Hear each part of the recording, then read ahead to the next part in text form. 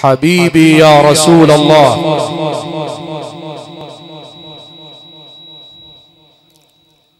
ولكن بنقول حاجة. آه والله. حبيبي يا رسول الله.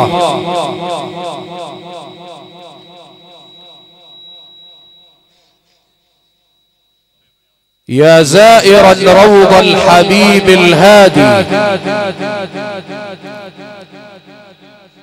بلغ رسول الله شوق فؤادي. واجعل لي من شفاعته نصيب. يوم أن نلقى رب العباد. سيدي أبا القاسم يا رسول الله. إني سألت الشعر أن يتعطفا فقال هيهات هيهات أن أتوقفا في يوم ميلاد المصطفى. عذرا رسول الله إن قصرت في وصف فإن جمالكم لن يوصفا جاءت قديما ذرة من نوركم قد جمل الرحمن منها يوسفا والله لو ماء البحار بجمعها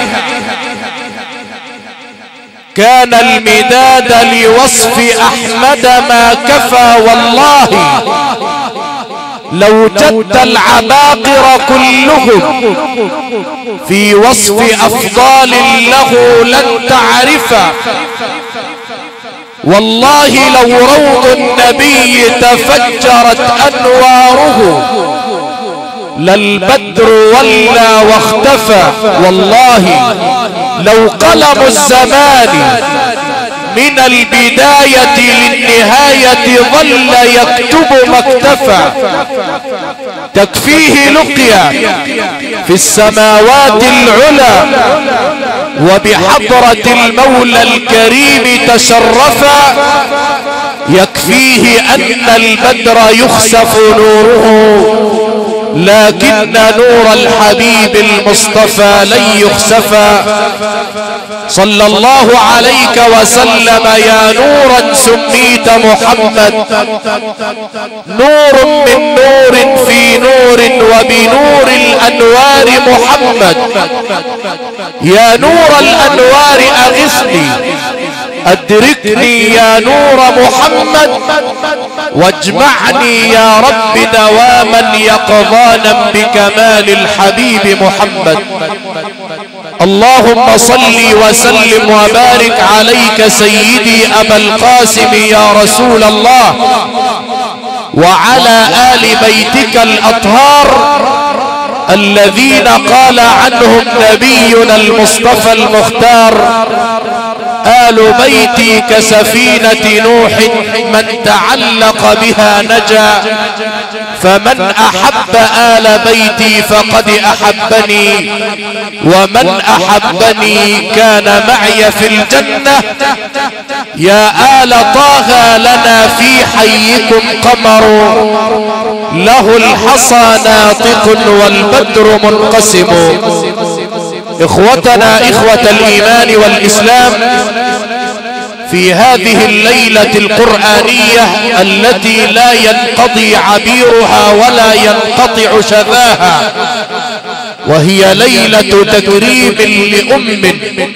ولمدرسة عريقة فاضلة عاشت بيننا من الصالحات العابدات القانتات وأكرمها خالق الأرض والسماوات بذرية طيبة كما قال رب العالمين ذرية بعضها من بعض من حملة القرآن الكريم أنجبت هذه الأم الكريمة الراحلة التي اختارها المولى الكريم في يوم طيب كريم لتنعم في الجنة بسماع الأوتار والجلوس مع الأبكار وقطف الثمار تحت ظل الأشجار على شاطئ الأنهار لتنعم برؤية واحد هو العزيز الغفار. الله أسأل لهذه الأم الفاضلة أن يتقبلها في الصالحين. وأن يجعل قبرها روضة من رياض الجنة وأن يلهم آلها وزويها الصبر والسلوان وأن يبارك في أهلها وزويها وفي كل من شيعها أو قدم واجب العزاء فيها. جئنا حبوا وسعيا على الأقدام مسرعين مسارعين. في ليلة تكريم الام الراحلة الكريمة عميدة العائلة الطاروطية وهذه العائلة العريقة ذات الجذور العميقة أهل القرآن نفخر بوجودهم بيننا في كل مكان. في ليلة تكريم هذه الأم الراحلة أتينا مشاركين في هذه الليلة لقمر الإذاعة المصرية فضيلة القارئ الإذاعي الكبير الدكتور عبد الفتاح علي الطاروطي وأيضا مشاركين للعلم الإذاعي الكبير فضيلة القارئ الشيخ محمد علي الطاروطي وللأخ الحبيب الفاضل فضيلة الشيخ عبد الله علي الطاروطي ولآل الطاروط الكرام وفي هذا البيت القرآني الطاروطي بيت الكرم والجود وبيت الوفاء والإخلاص لأهل القرآن تربينا فيه على مأدبة القرآن وعلى الكرم وحسن الضيافة. أسأل الله عز وجل أن يجعل هذا المكان عامرا ببركة القرآن وببركة الصلاة والسلام على نبينا المصطفى العدنان وأن يبارك في الأبناء الكرام سن الشيخ الدكتور عبد الفتاح فضيلة الشيخ محمد علي الطاروطي وفضيلة الشيخ عبد الله علي الطاروطي. أسأل الله أن يكرمنا بكرمهم وأن يمدنا بمددهم وبأهل القرآن. هو ولي ذلك والقادر عليه.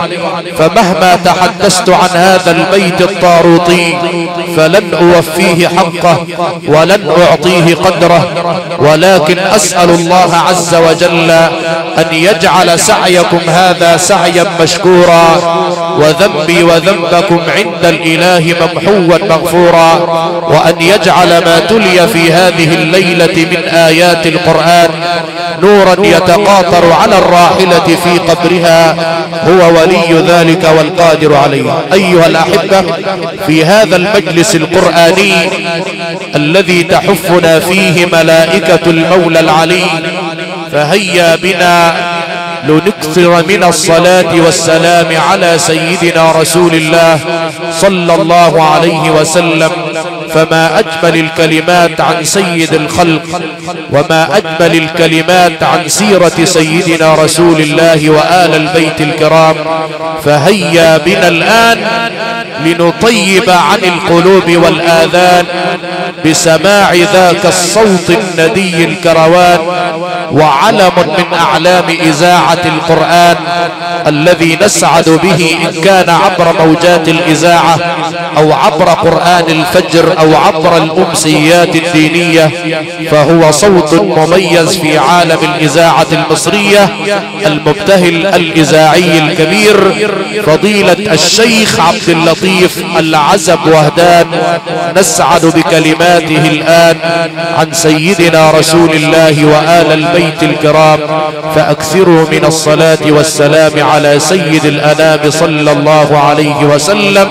سيدي خير الأنام وله أعلى مقام. ربنا صلى عليه والملائكة الكرام. فله منا التحية وله منا السلام. سيدي أبا القاسم يا رسول الله فهيا بنا مع فضيلة المبتهل الشيخ عبد اللطيف العزب وهدان يتفضل مشكورا.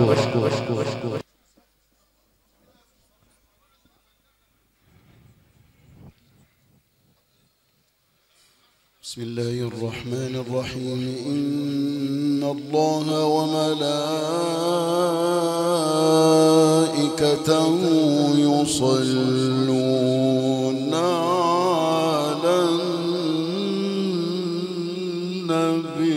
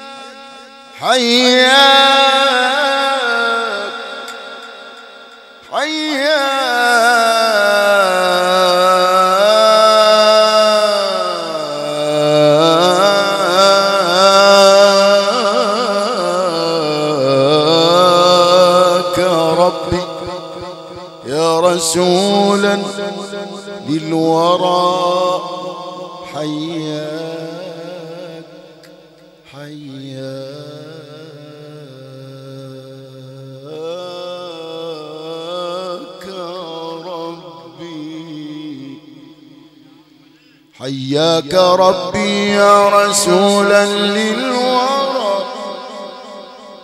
حياك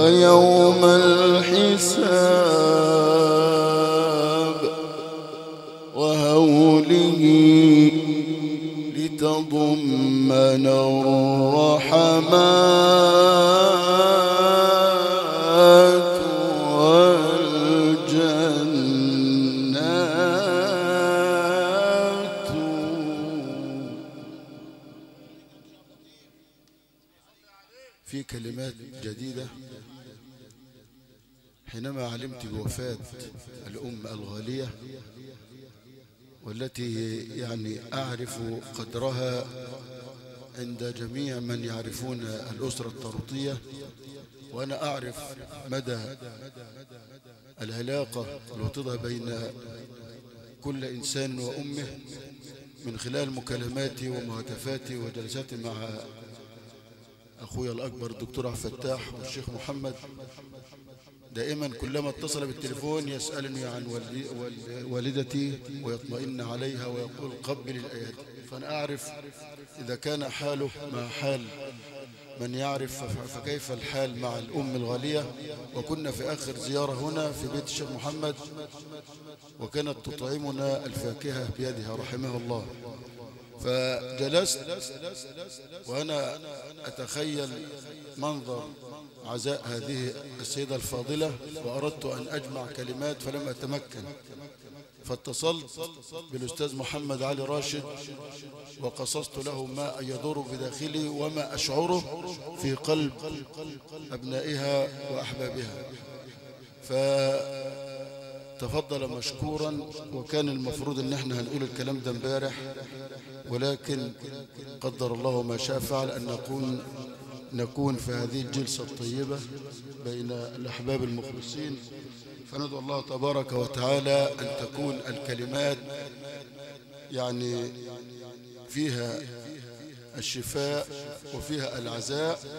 ونشكر الأستاذ محمد علي راشد ويبلغ عزاء آه، القصاصين والمحسمة وكل إسماعيلية أحبابكم لفضيلة الشيخ عبد الفتاح فضيلة الشيخ محمد الشيخ عبد الله وإخواتنا الكرام. فيقول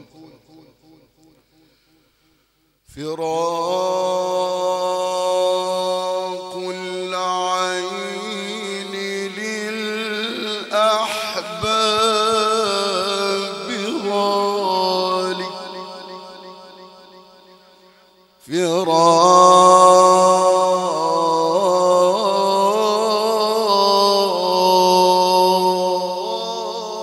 فراق العين فراق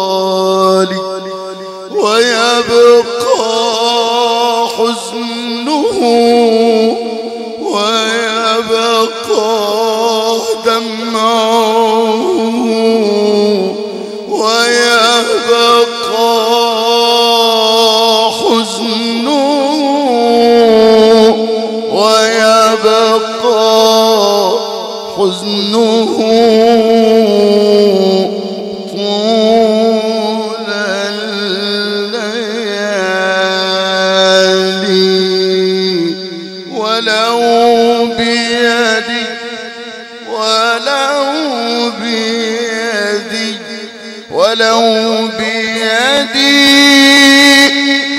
ولو بيدي سأهديهم حياتي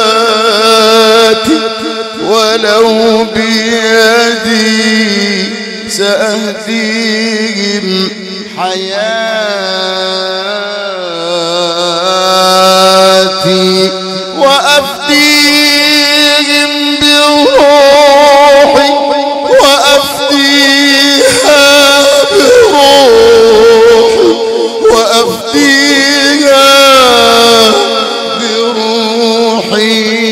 بروحي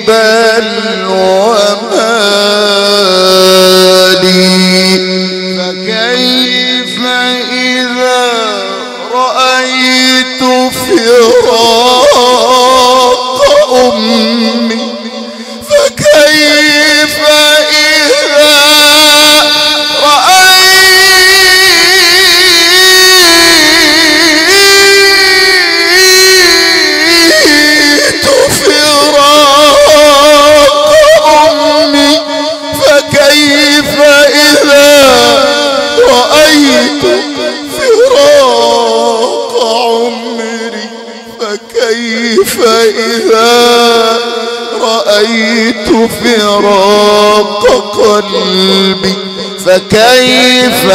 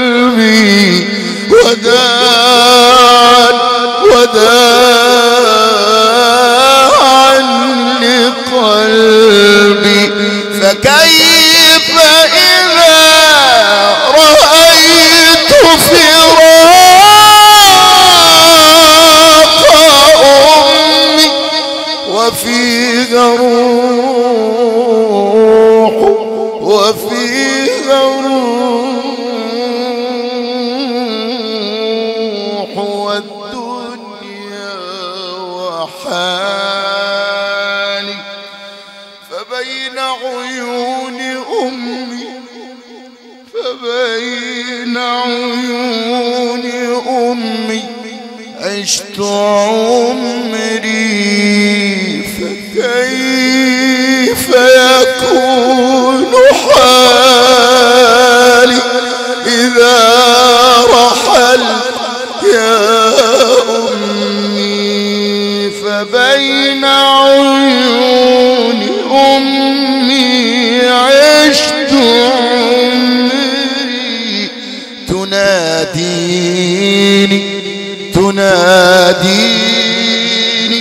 وتسأل ما جرى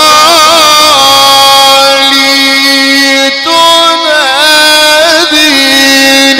وتسأل ما جرى لي. وتدعو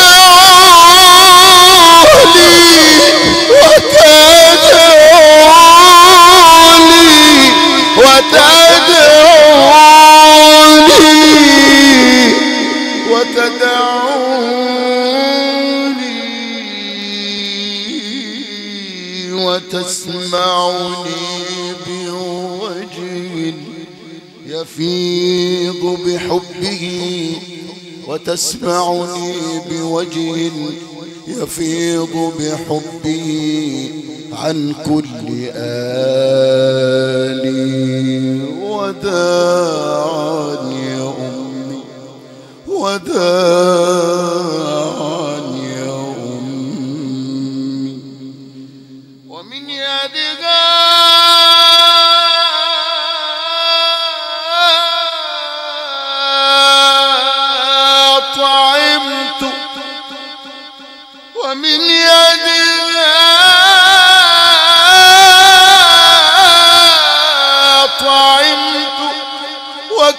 سقتني ومن يدها طعمت وكم سقتني ومن يدها طعمت وكم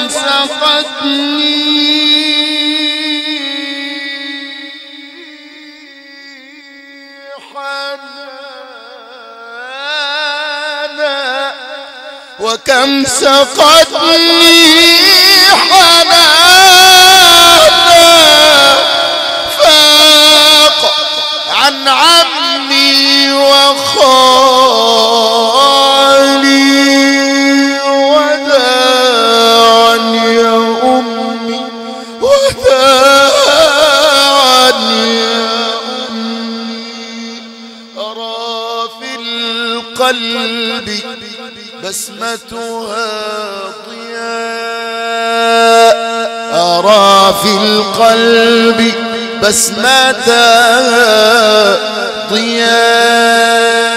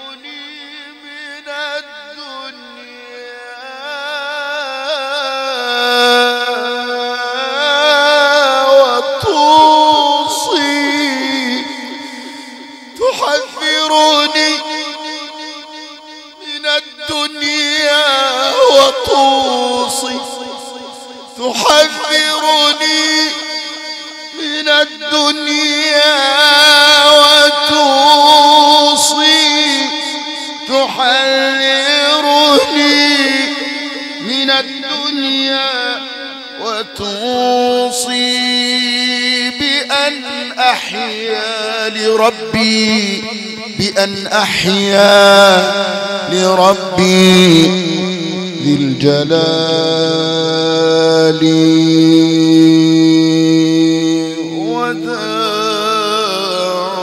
يا أمي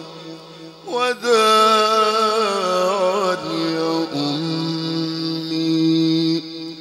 وأرضى بالقضاء ونرضى بالقضاء. ونرضى بالقضاء له ونصبر. ونرضى بالقضاء ونرضى بالقضاء له بصبر.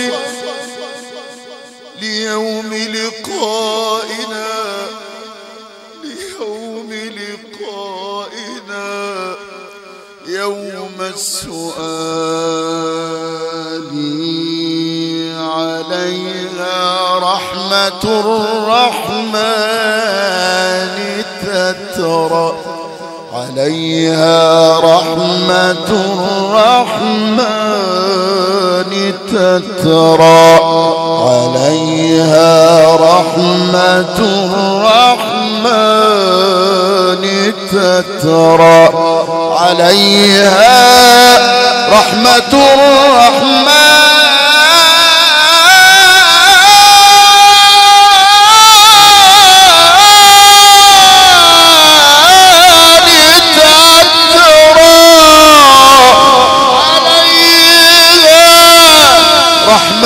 الرحمن تترى ويبقى ذكرها لي وصالي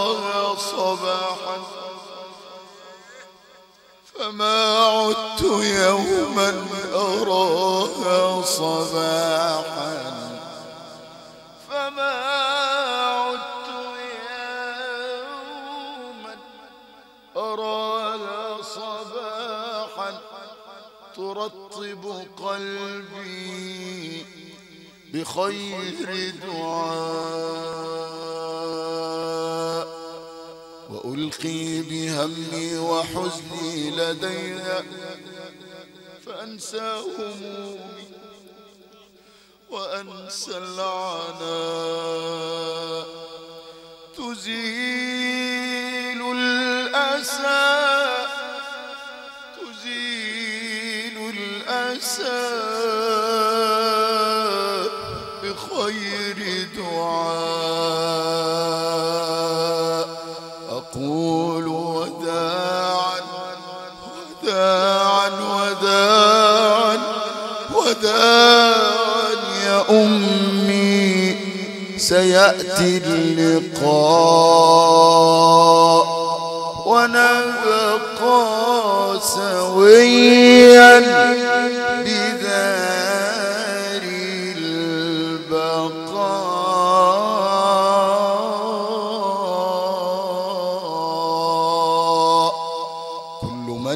يعشق محمد. ينبغي ألا يلام قد أتانا بالرسالة المضلل بالغمام. سيدي خير الأنام وله أعلى مقام. ربنا صلى عليه والملائكة الكرام فله منا التحية وله منا السلام. صلى الله على محمد صلى الله عليه وسلم. صلى الله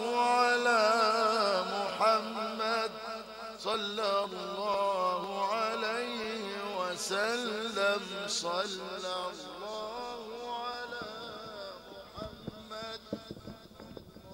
سيدي خير الأنام. وله أعلى مقام. ربنا صلى عليه والملائكة الكرام. فله منا التحية وله منا السلام. شكرنا لشيخنا وحبيبنا فضيلة الشيخ عبد اللطيف العزب وهدان علم الإذاعة المصرية وكروان الفجر بالإذاعة. كما أشكر للسادة القراء الذين وصلوا الآن شيخ محمد فتح الله بيبرس وكان يسجل بالإذاعة شيخ صابر أحمد صابر عيد. كما لا يفوتني أن أشكر أيضا الحاج طارق عاطر وأبناء مشتول السوق قرية براش شاكرا لهم الواجب ولكل أسرة مديرية أوقاف الشرقية مكملة بشيخها الذي والذين أتوا برفقته فضيلة الشيخ زكريا الخطيب توكيل أول الوزارة والسادة القراء جميعا. الآن